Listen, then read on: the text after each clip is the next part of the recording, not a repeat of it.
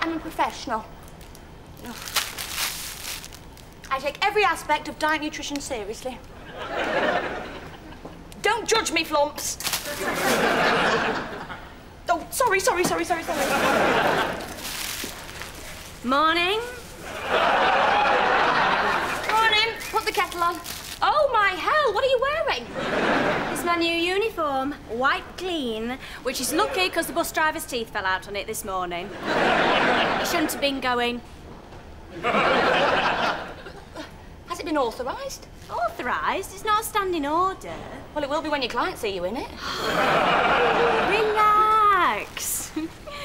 what do you think of it? Do you think it's too much? Because I could take the top off. No, no. Claire, you want to know what I think? Mm, you're getting a little bit turned on, aren't you? No! well, maybe a bit.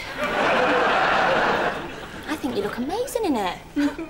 It's reflective, so you look amazing in it too.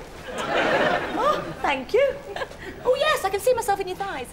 Oh, that's what the bus driver said before his teeth fell out. Claire, you look great. You want to slap it, don't you? No! Well, maybe just a little. No. maybe you should run it past your boss first before you start working. Yeah, I suppose you're right.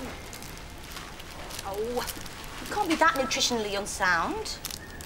Glucose, fructose syrup, sugar, water. Water! Eight glasses a day. Huh. Two, four, six. Inappropriate, this? You don't say. She told me to take it off immediately. Saucy little minx.